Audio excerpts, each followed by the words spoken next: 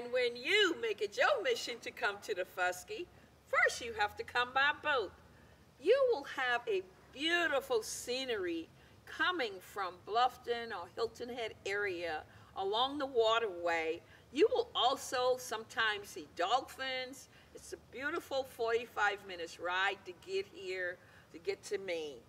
Daufuskie awaits you for you to come and be a part and learn its history on Daufuskie Island with me, Sallie Ann Robinson, with Authentic Gullah Tour, sharing the history, giving you the information you wonder about. What is it like living there? Come see me. I'll give you the history information that you seek for because I'm here on Daufuskie, sixth generation born native, Sallie Ann Robinson.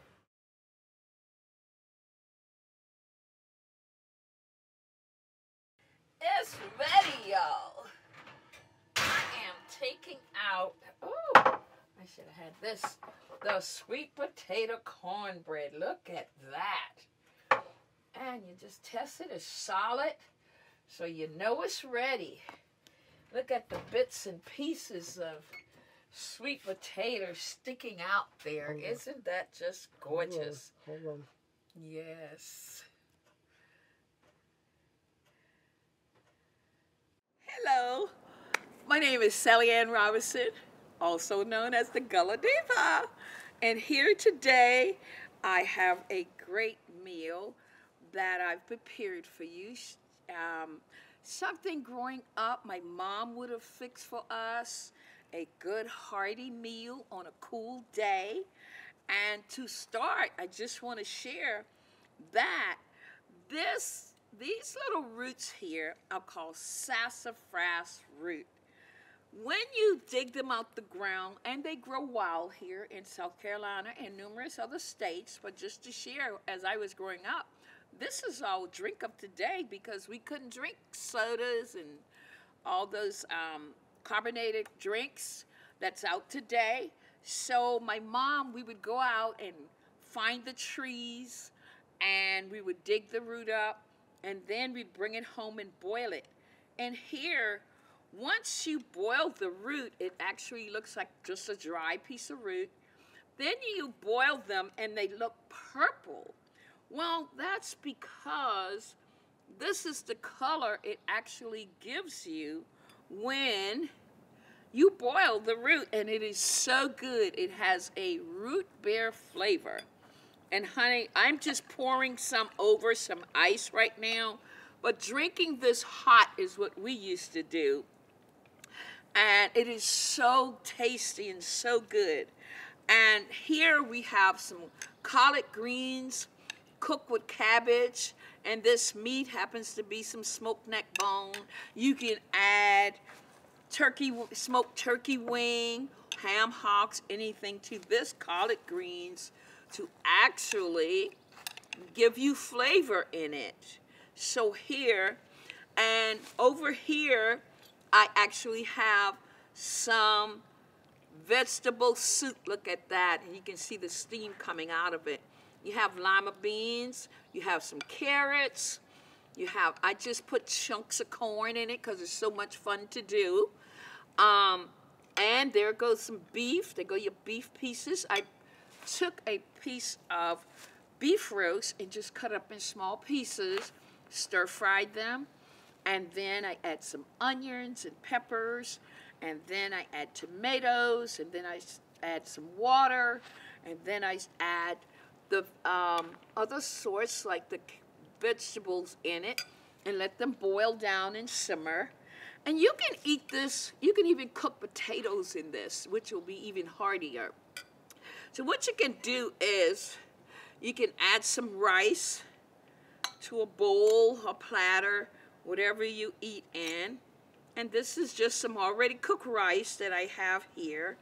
And you get as much, a little as you like. And then you would take this soup. Oh, it's hot. I'm just going to bring it closer. And you would just put it over it or to the side of it. Yummy. Oh, this is so good, you guys. And it's just a nice hearty vegetable soup that you can eat. And let's just put one of these corn on there. And that way you can put it on the side, eat it with your rice. And this is so good and so belly filling because my mom made sure that we had belly filling meal because we worked hard. We had to get outside and work, feed the chicken and move the cow, go get in the yard and clean the yard, or even when it came down to the vegetable gardening, like the collard greens here. Now you, you see I saved just that little side. If you wanted to have a little bit of this, collard greens and cabbage on the side of the rice. And that'll give you even more delicious cooked vegetable here.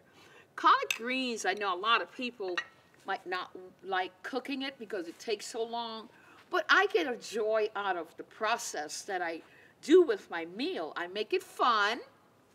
I go in the kitchen, I'm always happy because I'm going to be creative. Being creative, you'll be surprised what you can come up with. Don't rush your meal. Always take your time, be patient, and come up with all these great creation. Look at the biscuits I have here. I've made some homemade biscuits. I did different shapes here. I even did some with the little, look like a little star.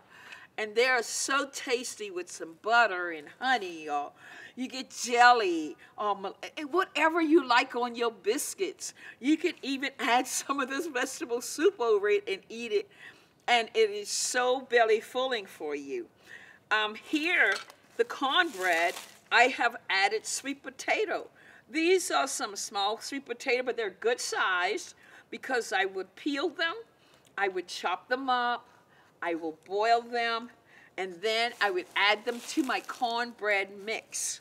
And here I have chunks of corn, um, sweet potato in the cornbread. So here I'm just going to cut a little slice to give you an idea how it actually looked. It smells good and it tastes good. Look at that. Cornbread's baked and so yummy for your tummy. Then you add a piece of this to the side of your plate. And oh, you're going to enjoy yourself here. you just, oh, as we would say, you're going to hurt yourself. but just so you know, if you want to make this meal, I do have my cookbooks out. And these are recipes that are in my books, my first, second, and third cookbook. And such a great meal from the low country because we used to grow all of our vegetables. And when we had seafood, we'd go to the ocean to get the seafood. But most of all, my mom had me in the kitchen with her because she thought it was so important to teach us how to cook. Learning how to cook was a necessity for us because they always said, I'm not going to be around. We need you to learn these things so you won't be hungry. So I have found myself just fascinated um, getting in the kitchen and enjoying these great meals that my mom would have us cook. I'm just going to get a biscuit here and just open it up to show you. I made these this morning. Oh man, look at that. You can just take a little piece of butter and put over it. Ah, so filling. And then it's up to you whether you want to add some honey or jelly over it. Look at that, honey and biscuit. Man, nothing beats it. nothing beats it. Um, to eat these biscuits, you can drink it with some hot um, tea, whether sassafras or any type of tea or drink you like. Um, it you will the flavor goes taste stays with you as you go through the day because it's so good, so yummy for your tummy. And I'm just putting that there. But I just can't tell you how important it is to love what you do as well. And when you're cooking, take your mind off all the other stuff. Just get in there. Start prepping the day before if you have to, like cutting up your vegetable, like your carrots if that's what you want to put in it. And like I say, you can always add okra to a vegetable like this, or you can put potatoes in it. And potatoes can take the place of the rice, or you can eat it with the rice. It doesn't matter. It's truly up to you and how much you enjoy eating food that's so good for you. Um, and drinking some homemade refreshing tea straight from the woods. It is so good. I love it. My childhood have truly been a great um, childhood growing up, working in the gardens with all of these stuff. Even the sweet potatoes. We planted sweet potatoes and had them ready, eat them year round. So when you stop to think about what can I do or how can I eat healthier or enjoy the food that grows in the low country, just actually get a good cookbook and get in the kitchen, follow the recipe, and I guarantee you will also enjoy and appreciate the goodness of the low country, whether it be collards and cabbage, or beef stew with vegetable, sweet potato cornbread, um, or some good homemade biscuits. Tummy, yummy for your tummy. yes. okay.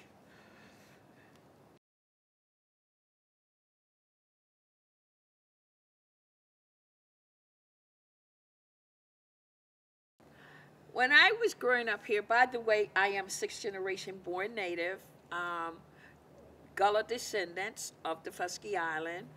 My family lived here um, for generations, and my childhood was truly fascinating having to grow up on the Fusky where we didn't have any stores and we didn't have doctor's office and all these great things that's on the mainland um, here.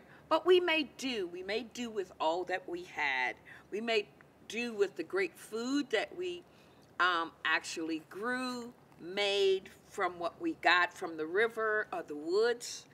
Um, like delicious meals like this you see here, or go to the woods and find the herbal tea, um, which is just awesome to have and healthy for you. Um, growing up here, I was also taught by a very famous teacher, Pat Conroy. He was here during my sixth grade period. Um, just had an awesome year um, when he was our teacher here. This island was just like our playground here. So we would run barefoot, climb trees, do all these great things um, as a child because we had no limits of where we could or could not go. And our parents, as long as we did our work and as we were told, had manners and respect, um, we pretty much had, you know, time and range to play, um, visit with family members who also live here. A lot of time going fishing was a big deal for us um, because we mixed our play with our work um, as we did a lot of our things. That's how we really had such a great life enjoying this island as a child growing up. We never told our parents we weren't going to do anything. We made sure that if they told us to do something, we answered them with respect. Yes, ma'am. No, sir. Um, and got the work done. We didn't complain. We didn't ask why.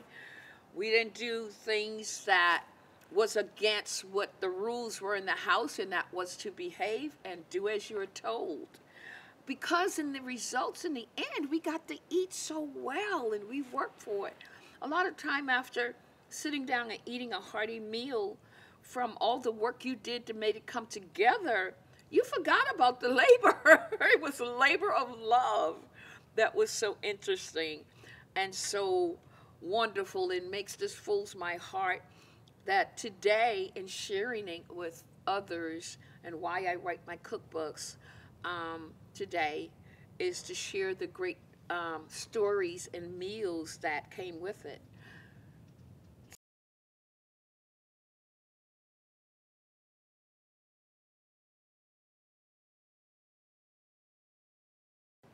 All right, and here to share with you all this great meal, I have two of the cookbook that these delicious meals are in. My first book, which is Gullah Home Cooking the Daufuskie Way, um, actually forwarded by Pat Conroy. And the second book, where you'll find that collard greens in um, and vegetable, is Sallie Ann's Kitchen Food and Family Lore from the Low Country. Great, awesome recipes, storytelling of child growing up, and mentioning that Pat Conroy was my teacher. Here is The Water is Wide. This is a hard version. Just want to share uh, several pictures is in this book. And there I go, right there. Happy, always happy. And last but least, I co-author with a young lady, Jenny Hirsch on Daufuskie. We did a Daufuskie book. Island um, is an image of America, Daufuskie Island. Back in the day, hauling crab, catching crab. We have great picture. It's a very great picture book and sharing a lot of information from the 1800 all the way into the 1900. Great pictures and, and memoirs of a time gone but not forgotten.